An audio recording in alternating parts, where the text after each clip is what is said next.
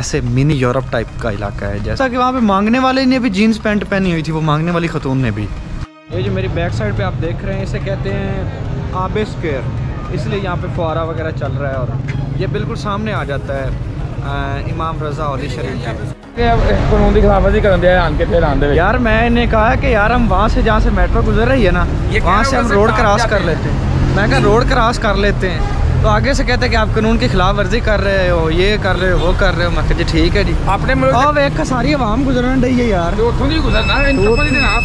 टप्पन तो भी फ़ायदा ही अपना ही है यार। चलो खैर है वहाँ से गुजर जाते हैं। ये देखें जनाब हम यहाँ से गुजर गए।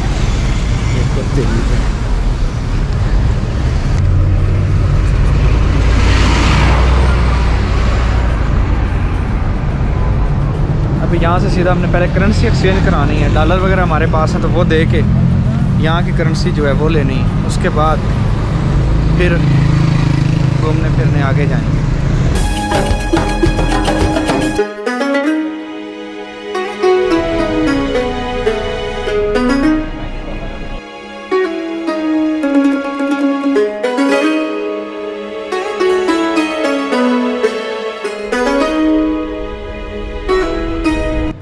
चलते चलते नाजरीन यहाँ पर आ गए और आप देख सकते हैं कि लोहे के साथ इन्होंने एक बिल्डिंग खड़ी की है शायद ये ऊपर गाड़ियाँ वगैरह चढ़ाने के लिए। इन्होंने खैर है आपको इशारे की जाते हैं हाँ रंग दी पर बयान ओके ओके समझ आ गए मैंने रंग तुम लग गया लग गया पता।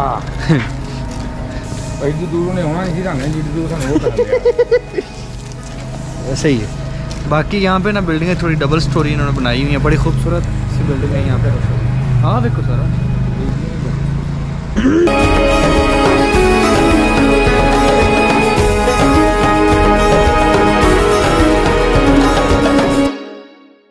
बाकी नाजरीन ना ऐसे मिनी यूरोप टाइप का इलाका है जैसे कोई मिनी यूरोप होता है आहा ਯਾਰ ਯੂਰਪ ਹੀ ਹੈ ਯੂਰਪ ਦਾ ਕੋਈ ਵੀ ਤਰੱਕੀ ਯਾਫਤਾ ਮੁਲਕ ਦਾ ਨਾਂ ਲੈ ਲੈ हम्म ਤੇ ਉਹਨਾਂ ਨੂੰ ਸਕਾਰਫ ਪਵਾ ਦੇ जस्ट हाँ, सिर्फ़ स्काफ उसकी वजह ये ना कि यार यार इनका ला है एक प्रॉपर ना।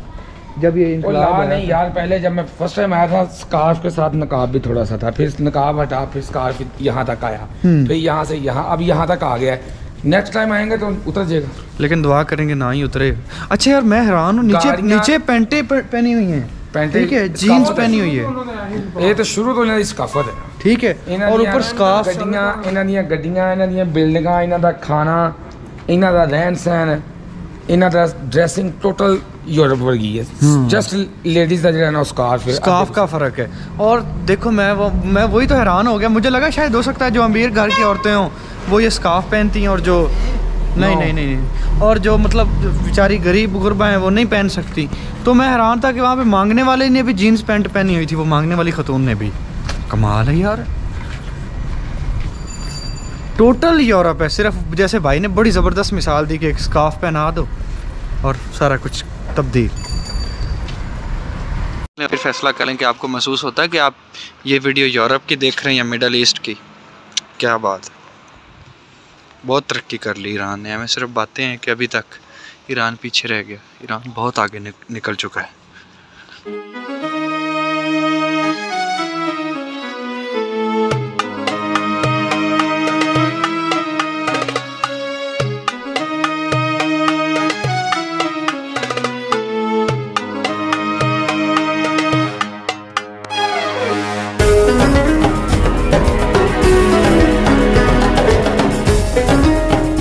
ਪਾਕਿਸਤਾਨੀਆਂ ਦੇ ਹਾਲਾਤ ਨੇ ਟੁਰ ਟੁਰ ਕੇ ਥੱਕ ਗਏ ਆ ਜੀ ਇਧਰ ਭਾਈ ਹੋਰੀ ਬੈਠੇ ਨੇ ਉਧਰ ਦੂਸਰਾ ਭਾਈ ਬਹਿ ਰਿਹਾ ਇਧਰ ਮੈਂ ਬੈ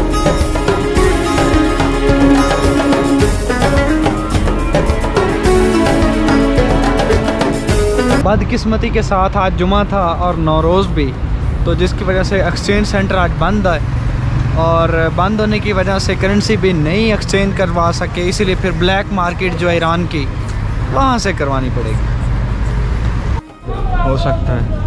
कोई रूम खाली हो, इसलिए अभी यहाँ पे गली में जाके पता करते हैं, उम्मीद है कि यहाँ पे कोई ना कोई रूम खाली होगा। अभी आगे छोटी सी गली है, और यहाँ पे भी इसी तरह रूम है। शायद हो सकता है यहाँ पे कोई रूम खाली हो।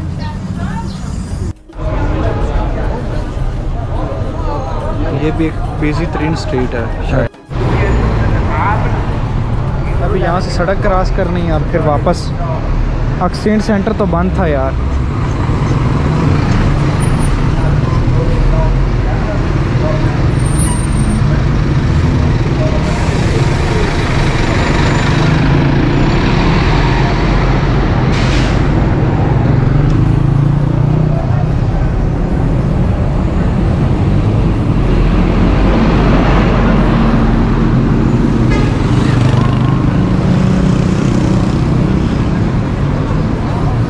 अगर ब्लॉग्स पसंद आ रहा है या नहीं भी आ रहा है चैनल को सब्सक्राइब ज़रूर कर दें। हमारे पास तकरीबन तीन हज़ार पाकिस्तानी थे जो मैंने यहाँ पर दे के आ, उसके तकरीबन तीन लाख नब्बे हज़ार जो है तुमान में यहाँ की करेंसी मैंने ले ली है। अब इससे तह, तहरान तक तो काम चल जाएगा लेकिन शायद मुझे शराज से जाके करेंसी चेंज करवानी पड़ेगी लाजमी वरना काम नहीं चलने वाला।